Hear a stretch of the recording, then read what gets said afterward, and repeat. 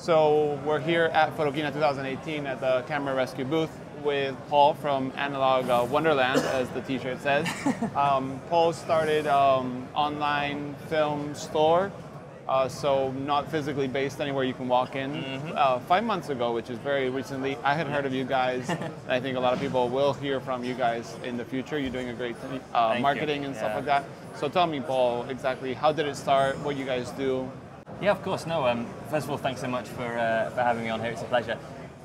I think for me, I mean, I've been shooting film for 10 years, 15 years now, and um, what I felt for a while is that it's tough to get hold of all the films that you want. And it was manageable for a bit, because you sort of fall into these, uh, not quite ruts, but, you know, the, the habit of, you know, just using Velvia or just using um, uh, HP5, and, that, and that's okay. And also, I was living in London where we were lucky to have a few local shops that sold film. But then when I moved away to Yorkshire, I really felt the fact that there was nowhere that you could walk in and buy film at a reasonable price or reasonable availability. Or On- different films, I guess. Or different, yeah, well, exactly. And then you actually go online, and then you suddenly realise there's a load of films out there, but from different places. So you have to go directly to Dubble to buy some of their film. You have to go directly to Revolog.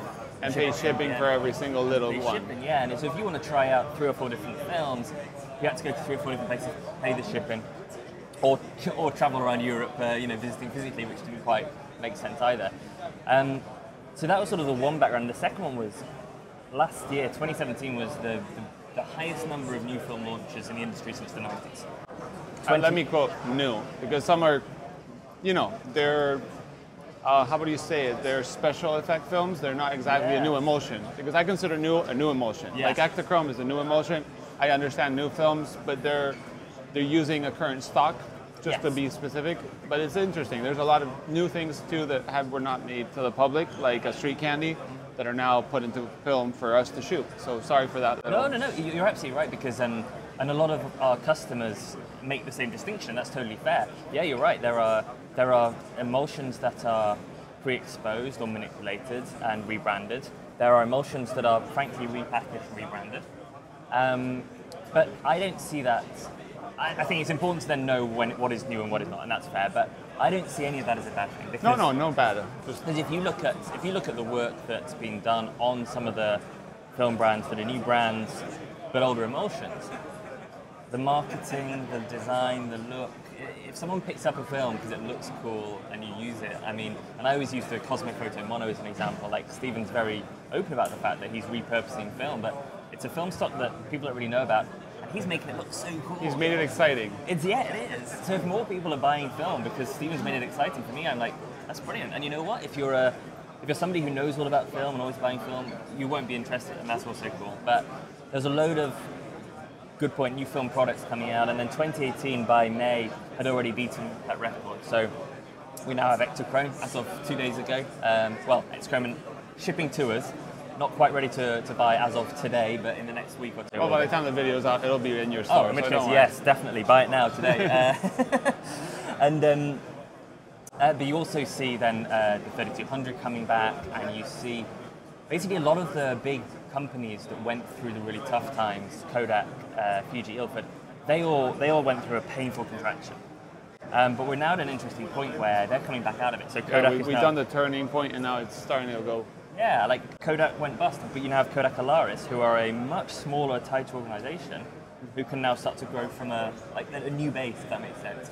Ilford are the same, um, so they're starting to really come through and interact a lot better with the community. And then you have Stephen, you have Vincent, you have um, the Revolog guys. Everyone around it is using new technologies. That's the other cool thing. The digital revolution Help film. analog. No, that, to me, it's the internet saved film photography. I mean, Yeah. it, it, because I live in Bilbao, Spain, uh, and there's no one around me that I would have met if it wouldn't have been for the internet, forums, Instagram. So those things save the fact that now we're a community. I, I mean, we're here with Finnish uh, colleagues. You're from England. Yeah. Jordan's the cameraman and helping us with audio. He's from the States. And all that happened thanks to the internet. It did decrease the digital, but it also helped us create a community, which is what I like. No, and it makes me laugh every time you. I'm posting a film photo on Instagram. I'm thinking, this is so crazy that this is the. But it is a thing, and And when you look at what Revolog, what uh, Dubble, what Kono have been able to do, what Yodica are able to do, it's because digital techniques make it accessible. So it's not just the community, which is a huge part of it, and sharing. It's also we're producing analog films for use analog cameras with digital world. The other one that is um, a great example is 3D printing. So the, the large format cameras, Chroma, Cameradactyl. You've seen Cameradactyl? Yep. Crazy. A standard camera, which is a monorail. It's very small, very easy. No, I know, I know. All, all possible because of digital technology breakthroughs. So you, we've been through this painful contraction, and now it feels like we're coming back to the other end. And what, what we're then trying to do is we're saying, well, we need to make film photography fun and accessible for everyone. Because the people who've been there throughout, that's great, but there's people today who, you know, someone who's 21 years old today will never have seen a film camera used at home, maybe. Because by the time they grew up, it was digital cameras and then iPhones.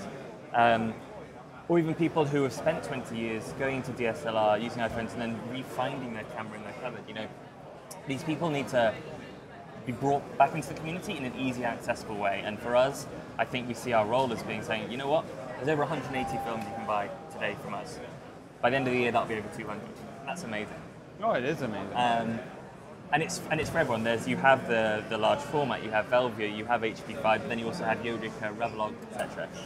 So someone can come to the shop and buy whatever film they like in whatever combination they like. And what we see is a lot of people like like testing things oh out. yeah, the number of orders we've had with only one film stock is like probably less than 10 since we launched. Because when you're there, and the delivery cost is just one cost, right? So when you're there, why not stock up? And if you buy more, the delivery cost goes down. We have loyalty points as well. So to encourage people just to, to buy from us, because hopefully, as you can see from, from what we're doing in our marketing, we I'm a film photographer first and foremost.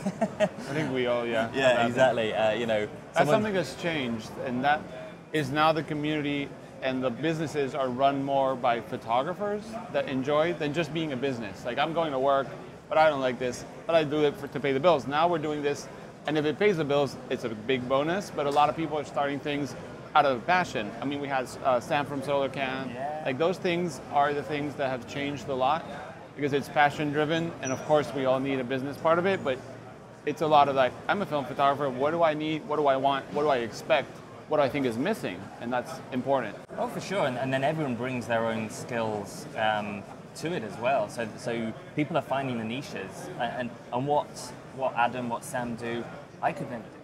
Like, or, or Lomig, Film Washi, like that guy creates magic in his garage. Like, have you seen his infrared goggles that he built himself? I I've, I've, I've seen him wearing them, but I haven't it- been. it's mental. So he's built infrared goggles to help him make film in the dark because he couldn't buy any because the military won't let him. So, uh, you know, I could never do that. But I'm very grateful he is because then he's, you know, hand coating uh, emulsions onto Japanese paper. Oh, yeah. Um, and then I have a, a business background, um, and hopefully what I can offer and I enjoy it is then the selling the marketing and making sure it's accessible and cheap and um, with everyone. So you're right. People are bringing their, their skills from their day jobs or their, their other interests with the passion of film photography and then working together in a way that I don't think it would it will have operated in the past because it was such a big business. Um, so we've sort of, I hate the phrase, but you know, right-sized the industry. It feels like now, but now it's then back in growth, significant growth. Yeah, and now that's when I think all those smaller things that happen have made the big players turn their heads. Kodak, you know, hopefully Fuji, uh, things like that that have turned their heads and like, okay, I think there all these small companies doing interesting things are doing well, like Cinestill Film. I mean, that started as a venture that they first um, few that we they made, they sold out and they couldn't keep up with the with the demand. And now they're here. The second time they're at least that I know they're in, um, in Photokina, growing with new products. They have the new little boiler for film processing Yeah, at home, and that has made big guys turn around, and that's important. Like now we're seeing some support from the bigger players, and it, it benefits everyone. Absolutely, and, and I mean, the other thing is everyone benefits. Now, of course, you have competition, you know, but we all know that, uh, and again, we've experienced it ourselves. If you buy one film, it doesn't stop you buying other films. And in fact, the more you try, the more likely you are to just buy more and use more and enjoy more. And because of the, when you go back to the supply side, only a few factories can coat emulsions. the more people who are using those factories, the better the business will be because the costs come down, you see efficiencies. Um, and that's really exciting as well, and I think that's where the big guys are seeing the benefit. Because not only are people then helping remarket the industry, but they're also adding to the volume of film that people are using, and that, that's coming through. Now, I think the thing that's, I don't know if I, I feel then the thing that's missing at the moment is then cameras, new cameras, uh. We had um, Lawrence from Reflex yesterday Oh, here. fantastic! There we So go. that was great. There We had uh, Gary from Mint making, you know, the rangefinder for Instax uh, wide. So hopefully, yeah, that's something I'm very much missing. I actually know someone in Geneva that builds cameras, which I'll get you in Ah. contact. Oh, please do. Uh, because he's a great guy, very young. He's friends of Camera Rescue, Oscar Owison from Oh, Phenomenon. He's made like an X-Band 3D printed, which is awesome. Um, so yeah, I think that is something missing. I also feel like the processing part of film between, even though Cinestill just launched and Jobo and people like that are still there, there's space for more. Um, but yeah, uh, anything else we should expect from Analogue Wonderland? Uh, you said that you're increasing film stocks. Anything down the line that you're excited about? So the things at the moment is yes, we've got um, uh, Ektachrome launch is, is top of mind at the moment, and then also preparing for Christmas, and we're going to create a few different Christmas products. We've also just launched our clothing range um, because one of the things that again personally I found was um, that it was hard to get hold of. Uh, Sort of well-designed, well-made, analog-inspired uh, T-shirts, and we worked with the designer in California for the last two months. So there's a range of men's and women's T-shirts, um, and we'll we'll continue to do things like this. Basically, the, good thing is our customers are very vocal um, uh, in, in what they would like, in what they want to see, in what they are missing, and And what they don't need. like. They are also The- the internet, there, so. and, and we, we do not mind that at all. Uh, all feedback is uh, is good, and um, and so we're very much guided by what people want. So uh, when we launched, we had a small selection of four x five film. Mm-hmm. That's expanded because people have said We want more. we want more. Um, people are constantly pushing us to look at the new accessories, new things that are helpful, uh, and clothing is, is a huge aspect. So, what you'll see from us is, is very much remaining focused on making sure that film photography is fun, accessible for everyone through the stocks and the products they can buy as cheap and as easy as possible. But then we will expand where it makes sense. And of course, we ship.